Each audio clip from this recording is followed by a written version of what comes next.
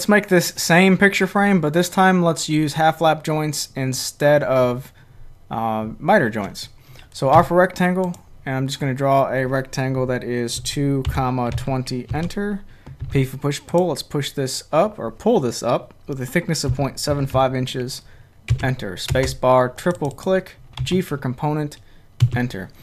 Just made a piece and made it a component before I make any of my cuts. Because we're going to be overlapping pieces, we want to make them components first. I need to make a horizontal piece, so R for rectangle.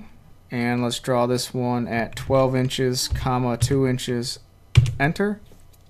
P for push pull, let's push this up, or pull it up, 0.75 inches, enter.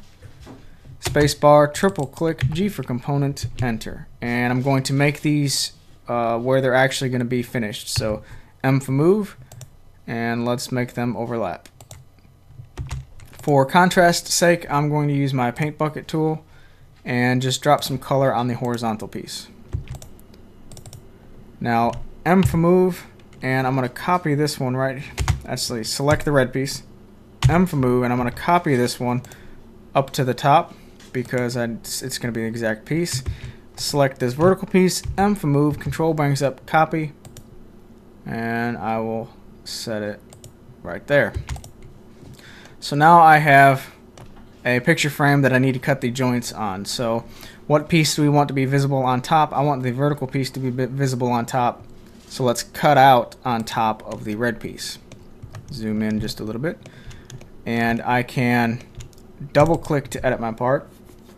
And if you notice, any command in SketchUp can snap to an endpoint or say a midpoint. Every single line in SketchUp has a midpoint and an endpoint. So alpha line, let's cut out this little side over here. And I'm also going to cut out this little side over here. So I can verify that I have three pieces or three faces up here on this top. So P for push pull and I can either push this down to half the thickness or I can simply just snap to the midpoint.